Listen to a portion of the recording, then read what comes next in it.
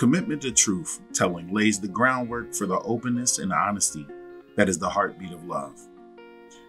When we can see ourselves as we truly are and accept ourselves, we build the necessary foundation for self love. We have all heard the maxim if you do not love yourself, you will be unable to love anyone else. Yeah, it sounds good. Yet more often than not, we feel some degree of confusion when we hear this statement.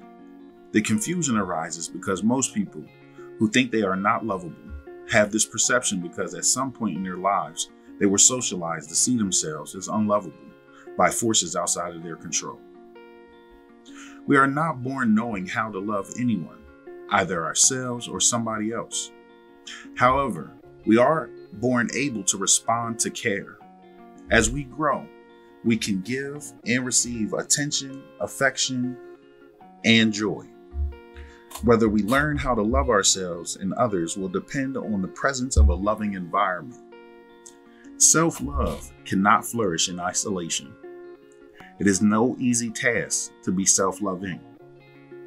Simple axioms that make self love sound easy only make matters worse.